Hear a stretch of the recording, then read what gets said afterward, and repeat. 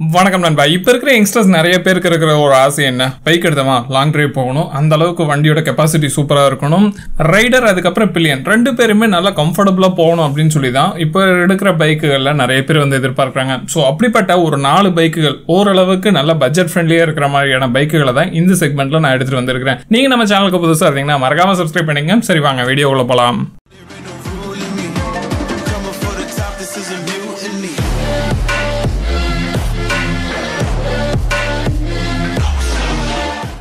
லிஸ்ட்ல ஃபர்ஸ்டா பார்க்க போறது ஜாவா ஃபார்ட்டி டூ பைக் தான். ஜாவா கம்பெனி நம்ம மார்க்கெட்டுக்கு வந்ததுக்கு அப்புறம் நிறைய விதமான கலவையான விமர்சனங்கள் இந்த பைக் மேல வந்துச்சு. நிறைய பேர் நல்ல பாசிட்டிவான ரிவ்யூஸும் கொடுத்தாங்க நிறைய பேர் நெகட்டிவான ரிவ்யூஸும் கொடுத்தாங்க. But long drive with pillion comfort அப்படின்னு சொல்லி பார்க்கும்போது இந்த பைக் நல்லாவே சூட் ஆகுது. இந்த மாடலோட version two point one model பார்த்தீங்கன்னா டூ பாயிண்ட் டூ எயிட் லேக்குக்கு ஸ்டார்ட் ஆகுது. அதுவே ஆல் ஸ்டார் பிளாக் அப்படிங்கிற model two lakh thirty four தௌசண்ட்க்கு அவைலபிளா இருக்குது. அதுதான் டாப் அண்ட் வேரியன்ட் சரி பைக்கோட பர்ஃபார்மன்ஸ் அதுக்கப்புறம் ஸ்பெசிஃபிகேஷன் அப்படின்னு சொல்லி பார்க்கும்போது வண்டியில் யூஸ் பண்ணியிருக்கிறது இரநூத்தி தொண்ணூத்தி நாலு புள்ளி எழுபத்தி ரெண்டு CC single cylinder liquid cooling engine வந்து யூஸ் பண்ணியிருக்காங்க.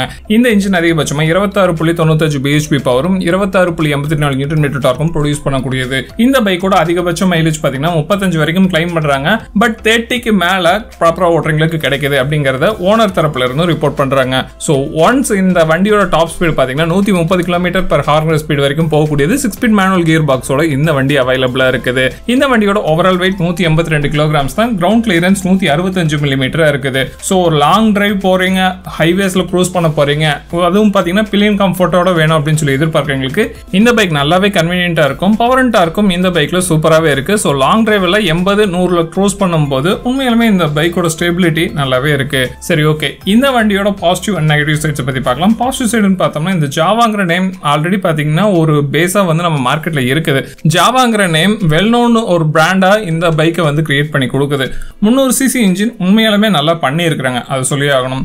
மூணாவது விஷயம் இந்த வண்டியில் டியூல் சேனல் ஏபிஎஸ் சிஸ்டம் வந்து ஸ்டாண்டர்டாக எல்லாத்துக்கும் கொடுக்குறாங்க. சரி ஓகே நெகட்டிவ் சைடு அப்படின்னு பார்த்தோம்னா வண்டியை பார்க்கும்போது அவ்வளோ பெரிய வண்டி மாதிரி நமக்கு வந்து ஃபீல் கொடுக்கல. ஓவரால் பில்டு குவாலிட்டி பார்த்தோம்னா இன்னும் கொஞ்சம் இம்ப்ரூவ் பண்ணிருக்கலாம்னு தோணுது. மூணாவது முக்கியமான விஷயம் என்னன்னா இந்த பைக் எடுக்கணும்னா லாங் வெயிட்டிங் பீரியட் இருக்குது. ஸோ அதை கொஞ்சம் இம்ப்ரூவ் பண்ணாங்கன்னா நல்லா இருக்கும்னு தான் தோணுது.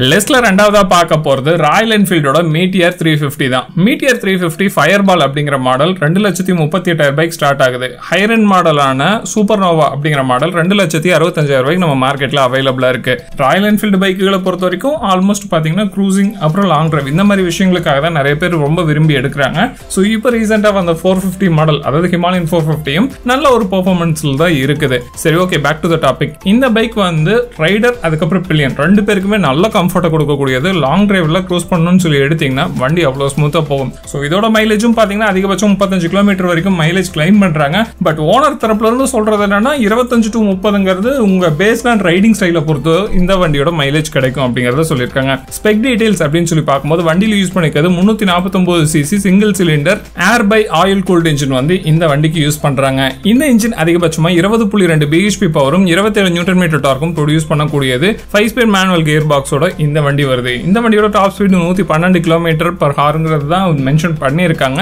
இந்த வண்டியோட ஓவரால் வெயிட் நூத்தி தொண்ணூத்தொரு கிலோகிராம்ஸா இருக்குது. ஸோ நம்ம மார்க்கெட்ல ஒரு well known brand so Meteor three fifty நிறைய விஷயங்களில் பக்காவாக இருக்கும் அப்படிங்கிறதுல எந்த ஒரு மாற்று கருத்தும் இல்லை. இந்த வண்டியோட பாசிட்டிவ் அண்ட் நெகட்டிவ் சைட்ஸை பத்தி பார்த்தரலாம் பாசிட்டிவ் சைடுன்னு பார்த்தோம்னா மிட் ரேஞ்ச் டார்க் இந்த வண்டியில் உண்மையுமே நல்லா இருக்குது. ஏன்னா இந்த J series engine three fifty CC engine பார்த்தீங்கன்னா மிட் ரேஞ்சில் நல்ல பவர் பவரும் ஓகே டார்க் வந்து நல்ல டீசெண்டாக கிடைக்குது. நேவிகேஷன் சிஸ்டமே இந்த டைம் இன்க்ளூட் பண்ணியிருக்காங்க. กรังครับ ஸோ அது வந்து பார்த்தீங்கன்னா ப்ரீவியஸ் மாடலில் கிடையாது. இப்போ வர மாடல்களில் கொடுத்துட்ருக்காங்க கம்ஃபர்டபுளாக இருக்குது. லாங் டிரைவுக்கு ஆகட்டும் சிட்டி டிரைவுக்கு ஆகட்டும் இந்த வண்டி நிறைய இடத்துல ரொம்ப சூப்பராகவே பெர்ஃபார்ம் பண்ணுது அப்படிங்கிறது ரொம்ப முக்கியமான விஷயம். சரி நெகட்டிவ் சைடு அப்படின்னு பார்த்தோம்னா இந்த வண்டியோட க்ரூசிங் ஸ்பீடு தான். இன்னும் கொஞ்சம் அதிகமான க்ரூசிங் ஸ்பீடு வந்து மெயின்டைன் பண்ணுற அளவுக்கு வண்டியை ரெடி பண்ணிருக்கலாம் அப்படிங்கிறத தோணுது. ஏன்னா எண்பதுக்கு மேலே போயிடுச்சுன்னா ஹையர் ஆர்பிஎம்ல ஓட்டும் போது வைப்ரேஷன் ஃபீல் ஆகுது வண்டியில். டாப் அண்ட் வேரியன்ட் பார்த்தீங்கன்னா கொஞ்சம் விலை அதிகமாக இருக்குது. கம்பேர் பண்ணும்போது அதர் மாடல்ஸ் எல்லாத்தையும் கம்பேர் பண்ணும்போது. ஸோ இந்த விஷயத்தை இம்ப்ரூவ் பண்ணாங்கன்னா ராயல் என்ஃபீல்டு மீட்டியர் உண்மையிலுமே சூப்பராக இருக்கும். லிஸ்ட்ல அடுத்ததா பார்க்க போறது TVS Apache RTR one sixty four V அப்படிங்கிற மாடல் தான். இதுக்கு முன்னாடி பார்த்த மாடல் எல்லாமே பார்த்தீங்கன்னா ரெண்டரை லட்சம் அதுக்கு மேலே தான் நம்ம பார்த்துருந்தோம் ஆனால் இந்த பைக் பார்த்தீங்கன்னா பட்ஜெட் ஃப்ரெண்ட்லி கிட்டத்தட்ட ஒரு லட்சத்தி நாற்பத்தெட்டாயிரம் ரூபாய்க்கு நம்ம மார்க்கெட்டில் அவைலபிள் இருக்கு. டுவெண்ட்டி டுவெண்ட்டி ஃபோர் மாடல் பார்த்தீங்கன்னா பக்காவாக இம்ப்ரூவ் பண்ணியிருக்காங்க. ஸோ இதுலேயே டியூல் சேனல் ஏபிஎஸ் அப்படிங்கிற டாப் வேரியன்ட் நீங்கள் எடுக்கிற மாதிரி இருந்தால் ஒரு லட்சத்தி அறுபதாயிரம் ரூபாய்க்கு நம்ம மார்க்கெட்டில் கிடைக்குது. ஸோ எனக்கு பட்ஜெட் வந்து நீட்டாக இருக்கணும் மைலேஜும் டீசெண்டாக கிடைக்கணும். லாங்க்கும் நல்லா இருக்கும் அப்படின்னு சொல்லி நீங்கள் எதிர்பார்த்தீங்கன்னா TVS Apache one sixty four V நல்லா பக்காவாக செட் ஆகும். லாங் டிரைவுக்கு இது செட் ஆகிறதுக்கான முக்கியமான இன்னொரு காரணம் என்னன்னா சிங்கிள் சீட்டராக கொடுத்துருக்குறாங்க. ஸோ ரைடர் அதுக்கப்புறம் பில்லியன் உட்காரும் போது நல்ல கம்ஃபர்டபுளான சீட்டிங் வந்து இந்த வண்டியில் பண்ணியிருக்காங்க. டூ ஹண்ட்ரட் ஃபோர் வீல பார்த்தீங்கன்னா உங்களுக்கு வந்து ஸ்பிட் ஷீட்டாக கொடுத்துருப்பாங்க. ஸோ இது வந்து சிங்கிள் சீட்டாக இருக்குது. ஸோ இதோட கன்வீனியன்ட் இன்னும் கொஞ்சம் நல்லா இருக்கு அப்படிங்கிறது மிக முக்கியமான விஷயம். ஸ்பெக் டீட்டெயில்ஸ் அப்படின்னு சொல்லி பார்த்தோம்னா இந்த வண்டியில் யூஸ் பண்ணிக்கிறது நூற்றி ஐம்பத்தொம்போது புள்ளி ஏழு CC single cylinder oil cooled engine வந்து யூஸ் பண்ணியிருக்காங்க. இந்த வண்டி ஃபைவ் ஸ்பீட் மேனுவல் கியர் பாக்ஸோட வருது. இந்த வண்டி அதிகபட்சமாக பதினேழு புள்ளி முப்பத்தோரு பிஹெச்பி பவரும் பதினாலு புள்ளி எழுபத்தி மூணு நியூட்டன் மீட்டர் ஸ்டார்க்கும் ப்ரொடியூஸ் பண்ணக்கூடியது. மைலேஜ் அப்படின்னு பார்க்கும்போது அதிகபட்சமாக நாற்பத்தஞ்சு வரைக்கும் மைலேஜ் கிடைக்கக்கூடியதுன்னு சொல்லியிருக்காங்க. But forty to forty five அப்படிங்கிறது ஆவரேஜ் நீங்கள் மோசமாக ரைட் பண்ணுறவராக இருந்தால் ஃபார்ட்டிக்கு கீழே தான் மைலேஜ் கிடைக்கும்.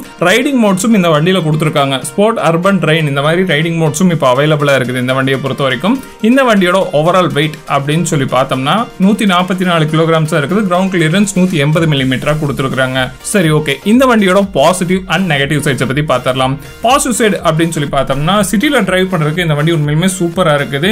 இன்ஜின் இந்த தடவை நல்லா ஸ்மூத்தாக பண்ணியிருக்காங்க. டுவெண்ட்டி டுவெண்ட்டி ஃபோர் மாடலில் இந்த வண்டியோட மிக முக்கியமான ஒரு அட்ராக்ஷன் எதுனா இந்த வண்டியோட இன்ஸ்ட்ருமெண்ட் கிளஸ்டர் தான். சூப்பராக பண்ணியிருக்காங்க. சரி ஓகே இந்த வண்டியில் வேற என்ன விஷயங்களை இம்ப்ரூவ் பண்ணணும் அப்படின்னு சொல்லி பார்த்தோம்னா குவாலிட்டி இன்னும் கொஞ்சம் பெட்டராக இம்ப்ரூவ் பண்ணாங்கன்னா நல்லா இருக்கும். நிறைய இடங்கள்ல குவாலிட்டி மிஸ் அவுட் ஆகுது.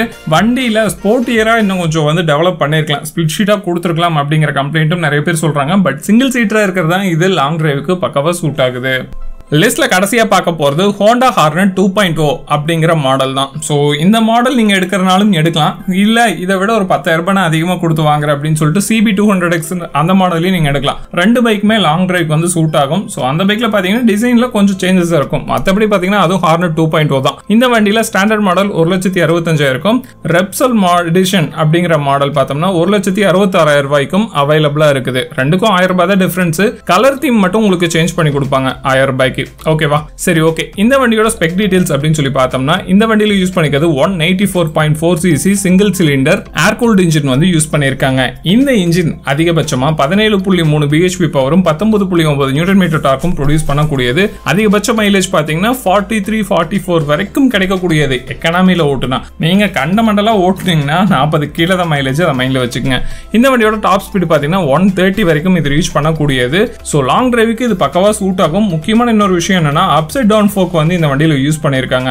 வண்டி சிங்கிள் சேனல் ஏபிஎஸ்ல மட்டும்தான் அவைலபிள் இருக்கு. டியூல் சேனல் ஏபிஎஸும் இந்த வண்டியில் அவைலபிள் இல்லை அப்படிங்கிறத மைண்ட்ல வச்சுக்கோங்க. வண்டியோட ground clearance one sixty seven மில்லிமீட்டராக இருக்குது. சரி பாசிட்டிவ் அண்ட் நெகட்டிவ் சைட்ஸை பத்தி பார்க்கலாம். வண்டியில் அப்ஸ் அண்ட் டவுன் ஃபோக்ஸ் வந்து கொடுத்துருக்காங்க ஃபுல்லி டிஜிட்டல் இன்ஸ்ட்ருமெண்ட் கிளஸ்டர் வந்து இந்த டைம் யூஸ் பண்ணியிருக்காங்க. சர்வீஸ் எல்லா இடத்துலையும் இந்த வண்டிக்கு ஈஸியாகவே கிடைக்குது. சரி வேற என்ன விஷயங்களை இம்ப்ரூவ் பண்ணிருக்கலாம் அப்படின்னு சொல்லி பார்த்தீங்கன்னா பிரைஸ் கொஞ்சம் அதிகமாக வந்து ஃபீல் ஆகுது. டியூல் சேனல் ஏபிஎஸ் இந்த வண்டியில் அவைலபிள் இல்லை. வண்டியோட குவாலிட்டி இன்னும் கொஞ்சம் இம்ப்ரூவ் பண்ணியிருந்தாங்கன்னா நல்லா இருந்திருக்கும். அப்படிங்கறத தான் தோணுது. சரி ஓகே நண்பா. ஒரு வழியா வீடியோவோட கடைசிக்கு நம்ம வந்துட்டோம். மேலே பார்த்த நாலு பைக்ஸை தவிர வேற எந்த பைக்குகள் உங்களுக்கு பிடிச்சிருக்கு அப்படிங்கிறத மறக்காம கீழே கமெண்ட் பண்ணுங்க. எந்த பைக் லாங் டிரைவ்க்கு இதை விட சூப்பராக சூட் ஆகும்? அதாவது இந்த பட்ஜெட் கிடையாது. நான் வந்து கொஞ்சம் பட்ஜெட் ஓரியன்டா தான் எடுத்தேன். இந்த பட்ஜெட் இல்லாம எவ்வளோ பட்ஜெட்ல வேணா போட்டுக்குங்க. டென் லேக்ஸ் போட்டுக்கங்க ஃபிஃப்டீன் லேக்ஸ் போட்டுக்கங்க. அந்த மாதிரி காம்பினேஷன்ல பார்க்கும்போது எந்த பைக் சூப்பராக இருக்கும் அப்படிங்கிறதையும் கமெண்ட் பண்ணுங்க. ஓகே நண்பா அடுத்த வீடியோல மீட் பண்ணலாம். டாடா.